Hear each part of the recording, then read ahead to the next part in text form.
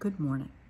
We are talking about accountability and realizing that everything that happens in your life, every decision you make, honey, you made the decision to do it. You may have been advised otherwise by friends and family or coworkers, but you made the ultimate decision. So whether it's leaving a job, dating somebody, marrying somebody, I don't care if it's something silly like returning a library book. Ultimately, the decision is yours. You're the one that's, that ultimately makes the decision to do whatever it is. So, stop blaming everybody else. You can't. If you make the final decision to do something, it's on you. It's not on them. Now, you can be torqued off at them for giving bad advice or not listening to their advice, however it moves, you know, whatever the circumstances are. But honey, the ultimate decision to do whatever it was, it falls on you. We are all accountable for our own actions, inactions, attitudes, behaviors, and the consequences. We're not responsible for anyone else but us. And also, while we're on the topic, I want you to talk to your kids about this. When they're toddlers, you can start teaching them accountability. You tell them to pick up toys and they don't, well, there's going to be consequences. But they can't be mad at you for those consequences because you told them to do whatever and they chose not to. Your kids are in school. They cheat on a test. They're accountable for that. They made the decision to do that. I remember back in the day when I was in school. Now, we're talking a long, long time ago, but the, the cool thing to do back then, they would stage walkouts.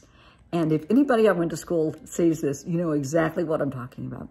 And so rumor would go through all the students, you know, at two o'clock, we're all walking out. And there would be some lame, stupid, idiotic excuse. But everybody, you know, you would see people at two o'clock start filtering outside.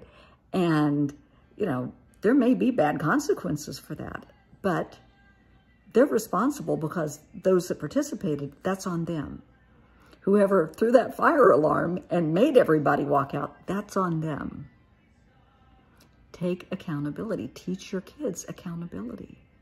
If you start teaching them when they're young, by the time they're in high school, life's going to be so much easier. It's going to be so much easier. They're going to be so they're, they're going to be better grounded and better individuals, better members of society because they're not going to be blaming everybody, you know, around them for what's happening in their life. not saying that people can't get us into mischief, but ultimately you're accountable. Think about the people that are in the jails right now. And there are millions of people in jails and in prisons throughout the country, throughout the world. Okay. Now, no matter what, if assuming that they are guilty and they did indeed participate and it's not misidentification of someone, honey, ultimately you chose to participate in that act. And if you choose to participate, you are guilty. And it bites, but you chose to accept that. Accept responsibility for your actions, your inactions, your attitudes, behaviors, and the consequences. If children are taught that young, then by the time they're older, they know that if they're with a carload of friends and they think it's fun to, to rob somebody, they're all going to go down for it because they're all accountable for their actions and the consequences. And there are consequences, and you have to accept those. If you're big enough and bad enough to do the crime, then you're big enough and bad enough to accept the consequences. Teach them early. We only have ourselves to blame.